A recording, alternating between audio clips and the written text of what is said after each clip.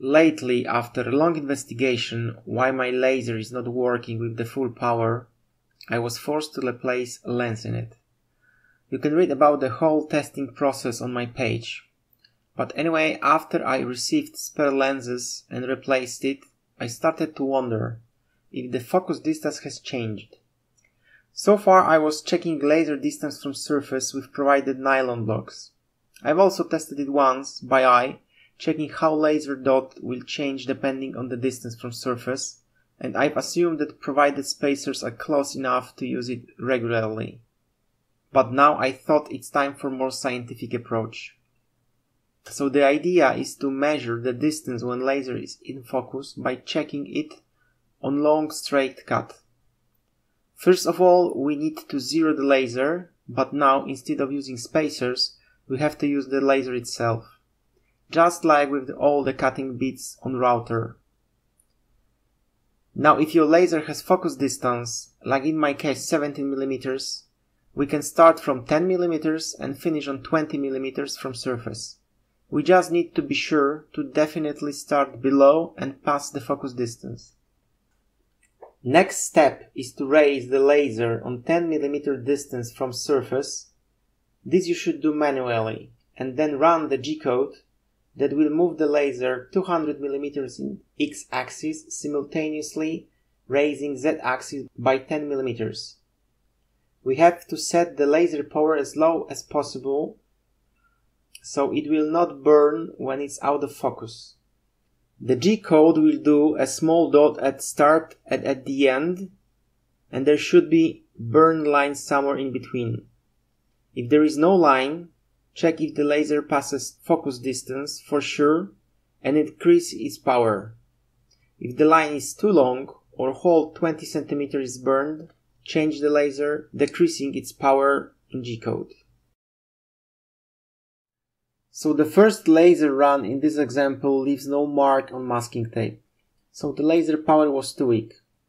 We need to go back to a starting point, change the laser power in G-code and run it again. The provided G-code is very simple and you only need to modify S value.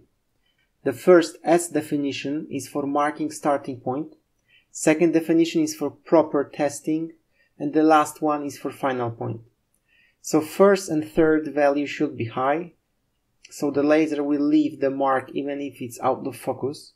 The middle, proper one, should be as low as possible. I'm talking all the time about GRBL implementation of G-code. This can, and probably will be, a little different for other interpreters. If you are not sure what value S can be, check your machine settings and see position 30 and 31. These are values for your minimal and maximum laser power. Second run is much better, but still not good enough. This time we have too much power and the laser did burn the line till the very end. So I've lowered the laser power to 35, this is about 7% of my maximum power, and did the third run. You can clearly see when the laser starts to burn the masking tape and where it's end. This region is what we are looking for. Assuming a linear laser focus, middle of this line is our peak power of the focus. Now I need to mark and measure where the burn starts and ends calculate the middle of it, and proportionally calculate the laser focused height. For the best result, you should lower power a bit yet and measure it twice or more. In this example, middle of the burn zone is average of 134 and 171 millimeters, that is 152,5 millimeters. Proportionally, on travel distance of 200 millimeters, this gives 0,7625 or 76,25% if you prefer.